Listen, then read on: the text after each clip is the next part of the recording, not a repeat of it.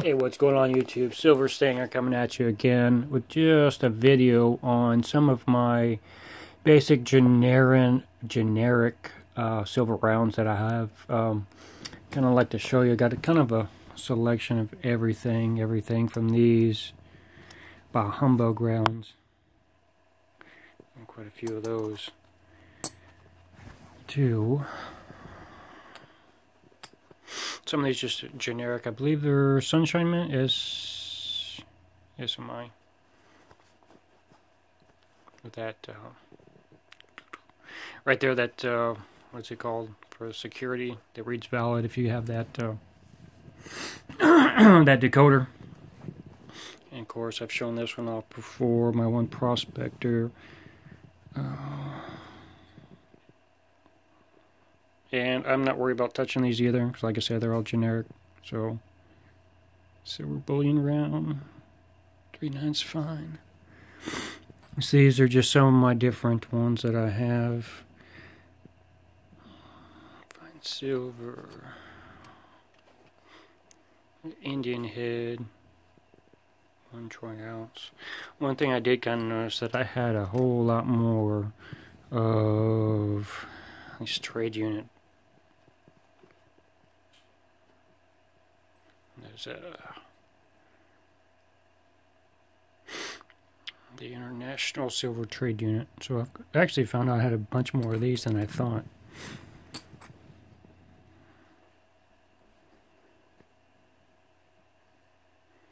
The Liberty Happiness.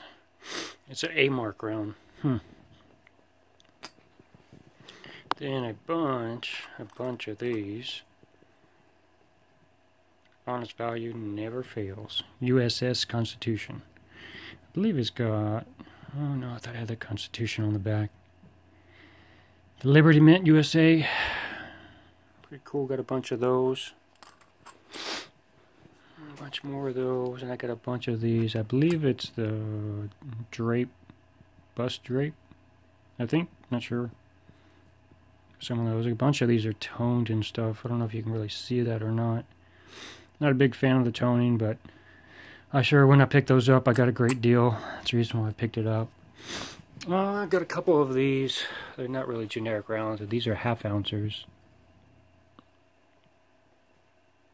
1945 victory in the Pacific. Australia 50 cents. Four nines fine half ounce. So I got a couple of those. Those are all the busted drapes. Just another world trade unit. Yeah, this one's a little bit different. It seems like there's a bunch of different varieties of them. Monex International. It's pretty cool. It's got the mountains on there, right? How it goes all the way across. Even, what is that? A river right there, right? So, 1982. and we got a couple of these elemental rounds. Those are pretty cool, super shiny. Focus, minted in the USA. Just basic, generic rounds, right? One troy ounce, AG. Some of those. U.S. Assay Office, San Francisco, CC 1981 was this a United from Strategic Stockpile Silver? Hmm, interesting. See, there's more of those World Trade Units. One troy ounce. Silver Trade Unit. This one didn't say World, it says just Silver Trade Unit. I guess there's all kinds of different varieties. Alright, this one's the eagle with the U.S. flag. One troy ounce, 31.1 grams, silver trade unit. And here's another world trade unit, 1983. One troy ounce. And what's this one? Same thing again.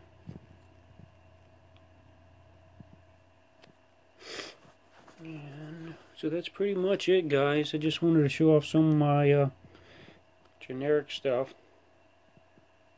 Sun's already milk spotted around the edges. I think that's because, um, man, I need to get uh, some silica gels on the safe. Three nines fine. But not too worried. Like I said, these are just generic rounds, so they are what they are. Would not think twice about cleaning them if I absolutely had to or wanted to, what have you. So, just uh, just more shiny stuff to look up, to look at.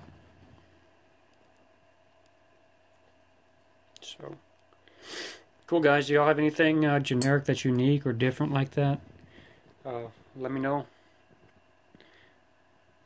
Alright guys, thanks for watching. Talk to you guys again next time. Bye.